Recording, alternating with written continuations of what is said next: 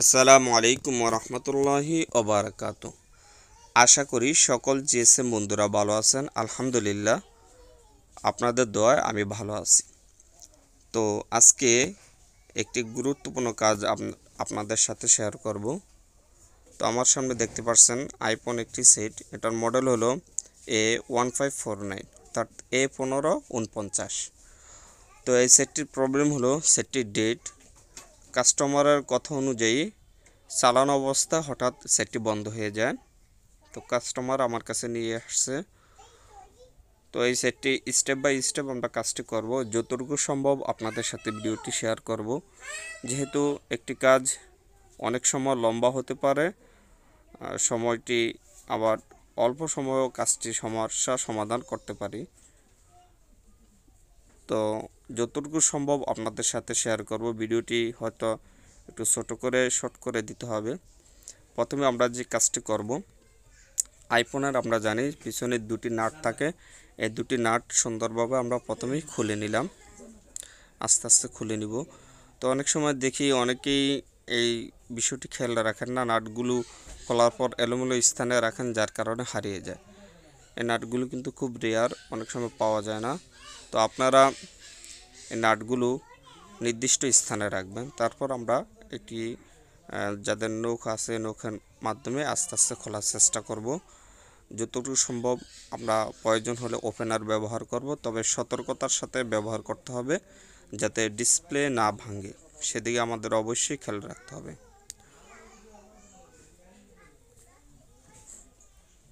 আমরা আস্তে আস্তে ডিসপ্লেটা খুলে নিব। তো একটু সতর্কতার সাথেই কাজগুলো করতে হবে। আর একটি কাস্টমারের কাজ, যখন কাস্টমারের কোনো মোবাইল আমাদের কাছে আসে, তখন আমরা অবশ্যই চেষ্টা করব সুন্দরভাবে কাজটি করার জন্য। সযত্নে, নিজেদের যত্ন সহকারে নিজের মনে করে কাজগুলো আমরা করার চেষ্টা করব। তো দেখেন আমি খুলে নিয়েছি, এখন ব্যাটারিটা ডিসকানেক্ট করে নিব।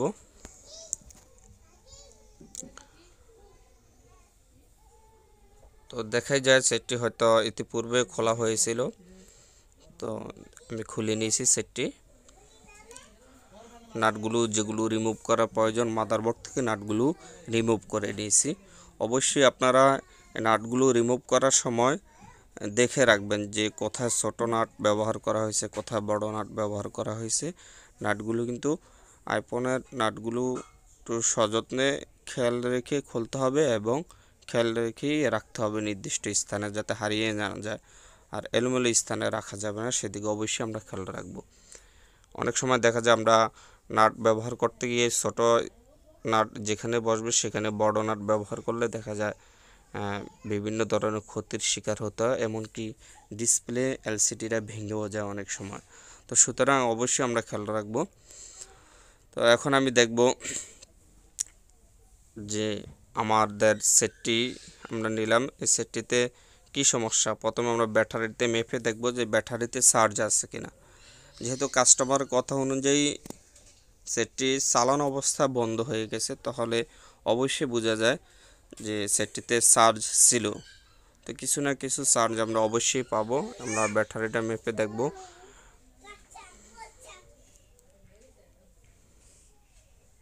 ডিসি ভোল্টে রেখে ব্যাটারিটা মাপলাম, দেখেন সাতশো একাত্তর দেখায়।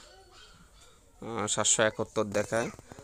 জিরো দশমিক সাতশো একাত্তর। সুতরাং এটা ওপেন হওয়ার তো প্রশ্নই আসে না। তো সেটটি যেহেতু কাস্টমারের কথা অনুযায়ী চালান অবস্থা বন্ধ হয়ে গেছে, তাহলে বুঝেই যায় সেটি অবশ্যই শর্ট আছে। শর্ট না থাকলে কিন্তু এইভাবে কিন্তু আপনার ব্যাটারিটা ড্যামেজের পর্যায়ে চলে যেত না। চার্জটা কমতো না। দেখেন, আমরা একদিকে যখন মাপি, তখন পেয়েছি পাঁচশো সামথিং অপর দিকে পেয়েছি চারশো সামথিং। তো সুতরাং সেটটিতে দেখা যায়, সেটটিতে শর্ট রয়েছে। আমাদের থাকার কথা হলে সাড়ে তিনশো থেকে সাড়ে চারশো, পাঁচশো একদিকে, অপর সাইডে সতেরোশো, আঠারোশো থেকে উপরে থাকার কথা। কিন্তু সেদিকে আমরা দেখলাম মাত্র একদিকে চারশো দেখায় আর একদিকে পাঁচশো দেখায়। তো সুতরাং সেটটিতে শর্ট রয়েছে, দেখতে পাচ্ছি। তো স্টেপ বাই স্টেপ আমরা কাজটি করব। তার আগে আমরা মাদারবোর্ড থেকে প্রয়োজনীয় যে জিনিসগুলো আছে, এগুলো এগুলো ডিসকানেক্ট করার প্রয়োজন আমরা ডিসকানেক্ট করে নিব। অবশ্যই সিম বেসগুলো আপনারা খুলে নিবে। অনেক সময় দেখা যায় আমরা সিম বেস না খুলেই মাদারবোর্ড টানাটানি করি, যার কারণে দেখা যায় মাদারবোর্ড ব্যাকা হয়ে যায় বা ভেঙে যায়, সেদিকে খেয়াল রাখব। নাটগুলো অবশ্যই নাটগুলো যখন আমরা খুলবো, দেখে শুনে খুলতে হবে এবং নাট সম্পূর্ণ নাটগুলো না খুলে আমরা মাদারবোর্ড টান দিব না। তাহলে দেখা যায় আইফোনের কোনো কোনো স্থান দিয়ে চিকুনভাবে মাদারবোর্ড ব্যবহার করা হয়েছে। যেমন এর সামনে দিয়ে চিকুনভাবে মাদারবোর্ড ব্যবহার করা হয়েছে। তো আপনি যদি একটি নাট না খুলে টান মারেন, তাহলে দেখা যায় সামনের অংশ ভেঙে যাওয়ার সম্ভাবনাই বেশি। সুতরাং এদিকে অবশ্যই খেয়াল রাখবেন। আর যেহেতু ভিডিওটি লম্বা হবে যার কারণে শর্ট করতেছি, কিছু কিছু স্থানে হয়তো গ্যাপ রাখব। তো যেটা প্রয়োজন অবশ্যই সেই অংশটুকু আপনাদের সাথে শেয়ার করব।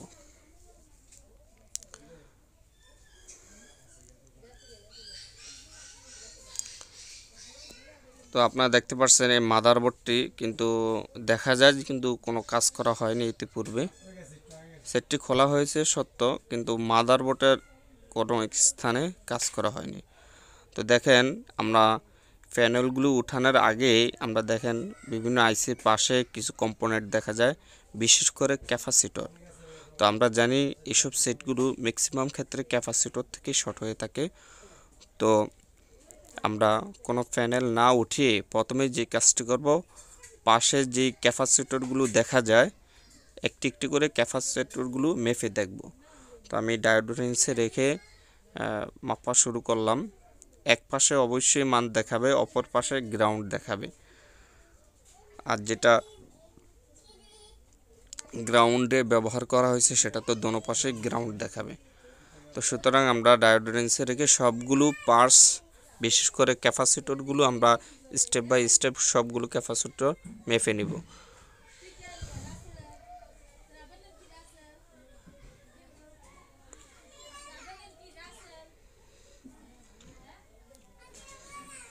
প্রথমে আমরা ডায়োডোরেন্সে রেখে মাপবো। দেখেন এক সাইডে চারশো, পাঁচশো দেখায় অপর সাইডে গ্রাউন্ড চার দেখা। একটি একটি করে সবগুলো যেগুলো দেখা যায়, উপরে যে ক্যাপাসিটরগুলো এগুলো আমরা মেপে নিব। যদি এখানে কোনো শর্ট না পাই, তাহলে আমরা নির্দিষ্ট যে প্যানেলগুলো রয়েছে যেখানে যেখানে শর্ট থাকার কথা একটা একটা করে আমরা রিমুভ করব প্যানেল এবং শর্টগুলো মাপব যে কোথা থেকে শর্টটা আসছে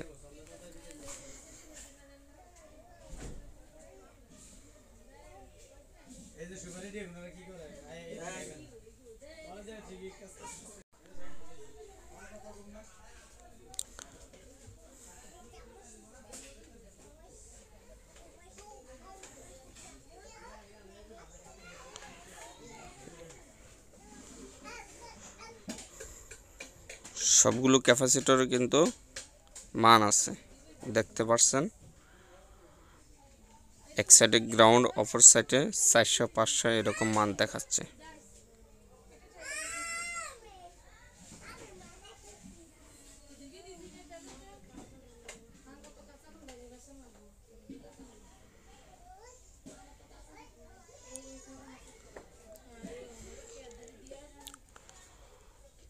তো এখানে দেখতে পাচ্ছি যে একটি ক্যাপাসিটর উভয় পাশেই গ্রাউন্ডে দেখাচ্ছে।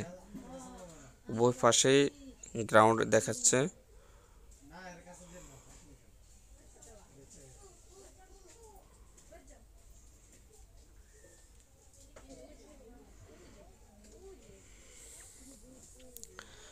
যেহেতু এই ক্যাপাসিটরটি উভয় পাশে গ্রাউন্ড দেখাচ্ছে, ডায়োডোনিসে মাপার পর, তো আমরা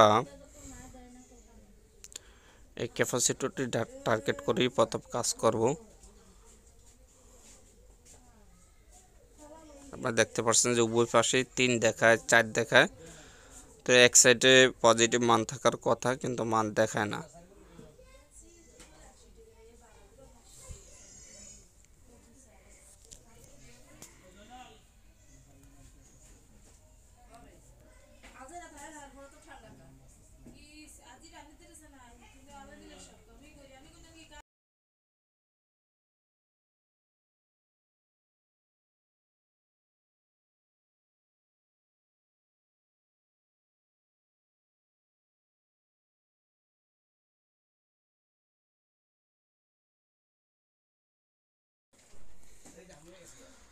তো এই সেটটি যেহেতু এক পাশে শর্ট দেখায়, এই ক্যাপাসিটরটি অপর পাশে কিন্তু শর্ট দেখায় না।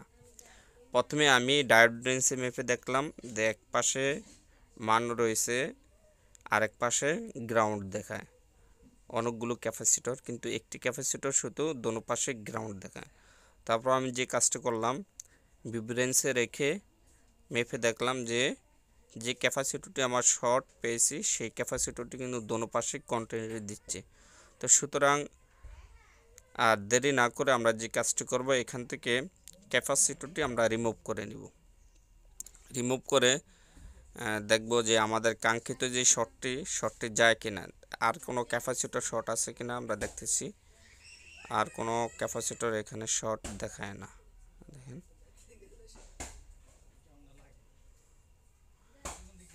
একটি মাত্রই ক্যাপাসিটর পেয়েছি, যেখানে আমরা শর্টটা পেয়েছি। তো এই ক্যাপাসিটিটা আমরা রিমুভ করব। রিমুভ করার পূর্বে আবারও আপনাদেরকে আমি এই সেটটির মানটা অবশ্যই দেখাবো, যে ব্যাটারি কানেক্টরে পজিটিভ মানটা দুই পাশে যেই আপনার পজিটিভ, পজিটিভে এবং গ্রাউন্ড পজিটিভে ধরলে যে মানটা আসে, অর্থাৎ এক পাশে সতেরোশোর উপরে থাকবে, অপর পাশে সাড়ে তিনশো, চারশো, পাঁচশো এরকম থাকার কথা। সেই মানটা অবশ্যই দেখাবো। সাধারণত চারশো থেকে সাড়ে চারশোই থাকে। তো সেই মানটা আপনাদেরকে দেখিয়ে তারপর আমি ক্যাপাসিটিটি রিমুভ করব।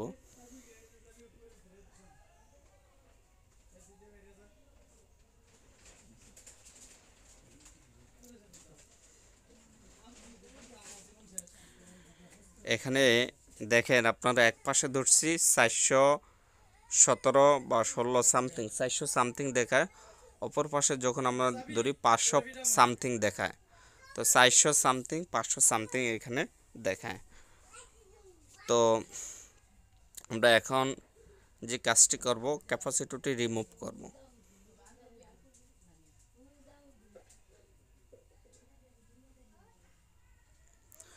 আসলে আমরা যে কোনো কাজ যখন স্টেপ বাই স্টেপ করব, তখন অবশ্যই এর সফলতা আমরা পাব। অন্তত কাজটি সফল না হলেও অনেক কিছু শিখতে পারব।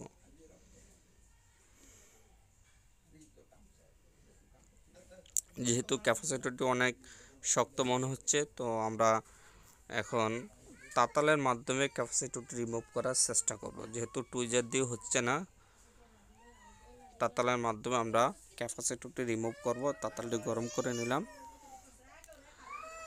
আয়রনের মাধ্যমে আমরা এখন ক্যাপাসিটরটি রিমুভ করতেছি। দেখেন, ক্যাপাসিটরটি কিন্তু রিমুভ হয়ে গেছে। তো আমরা প্রথমেই ক্যাপাসিটরটি মেপে দেখব যে আসলে ক্যাপাসিটরটি মূলত শর্ট কিনা।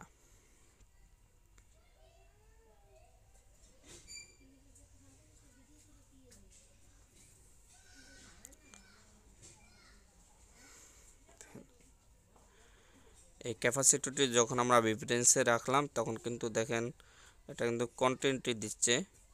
এই কন্টেন্টটি দিচ্ছে বোঝা যায়। তো সুতরাং এটা আমরা এখন যে কাজটি করব, এখন আমরা মাদারবোর্ডের যে মানটা, সেটা আমরা মেপে দেখব যে আমাদের মানের কোনো পরিবর্তন হয়েছে কিনা।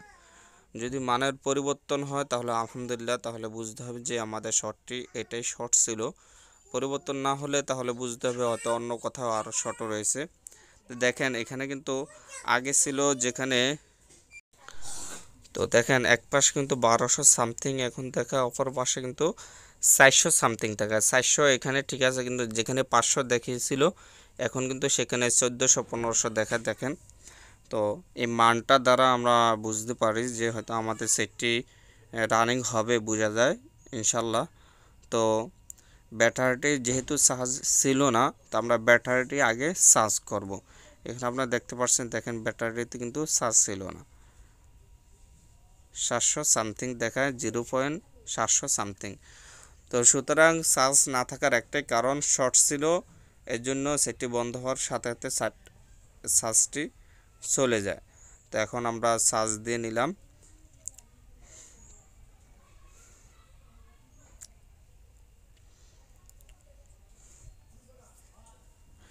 ব্যাটারির যখন পর্যাপ্ত চার্জ হবে, তখন কিন্তু আমরা কাজটি করব।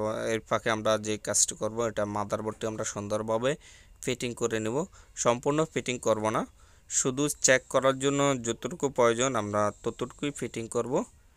ফিটিং করে সুন্দরভাবে ফিটিং করে আমরা দেখব যে ডিসপ্লে কানেক্ট করে যে আমাদের সেটি রানিং হয় কিনা। দেখেন আমার থ্রি পয়েন্ট এইট ওয়ান তাহলে সেটি চার্জ হওয়ার মতো, ব্যাটারিতে চার্জ হয়েছে, চালু হওয়ার মতো। তো এখন আমি সেটি রানিং করব রানিং করার চেষ্টা করব। ব্যাটারি কানেক্ট করে নিলাম। আর অবশ্যই আমরা ডিসপ্লে কানেক্টারগুলো যখন লাগাবো, তখন অবশ্যই একটু সতর্কতার সাথে কানেক্টরগুলো খুলতে হবে, লাগাতে হবে। দেখা যায় অনেক সময় এগুলো কানেক্টরগুলো ভেঙে যায়। দেখা যায় আমরা ঠিকমতো না লাগার কারণে চাপ দিলে দেখা যায় মধ্যখান থেকে ভেঙে যায়। এদিকে অবশ্যই খেয়াল রাখতে হবে।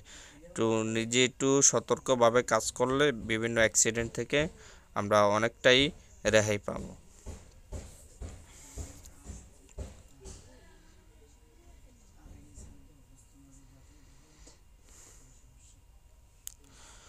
ভিডিওটি সম্পূর্ণ আপনাদের সাথে শেয়ার করতে পারিনি। যতটুকু সম্ভব ততটুকু শেয়ার করেছে। আলহামদুলিল্লাহ। দেখতে পাচ্ছেন যে আমার আইফোন সেটটি লোগো আসছে। এখন দেখব সেটটি সম্পূর্ণ ওপেন হয় কিনা। তো যে কোনো কাজ যখনই আপনারা স্টেপ বাই স্টেপ করবেন, আশা করি কাজগুলো সুন্দরভাবে সমাপ্ত করতে পারবেন সফলতার সাথে। তো এই কাজটি যদি আপনাদের ভালো লাগে, অবশ্যই লাইক কমেন্ট এবং শেয়ার করবেন। নিত্য নতুন ভিডিও পাওয়ার জন্য অবশ্যই চ্যানেলটি সাবস্ক্রাইব করবেন। ফেসবুক পেজ আপনারা ফলো করবেন। দেখেন, আমার সেটটি কিন্তু সম্পূর্ণ ওকে ওপেন হয়ে গেছে এবং টাচও কিন্তু সুন্দর কাজ করতেছে। তো আজকের জন্য এখানেই সমাপ্ত। দেখা হবে ইনশাল্লাহ পরবর্তী কোনো ভিডিওতে। ততক্ষণ পর্যন্ত সকলেই ভালো থাকেন, সুস্থ থাকেন। আসসালামু আলাইকুম রহমতুল্লাহি অবরাকাতু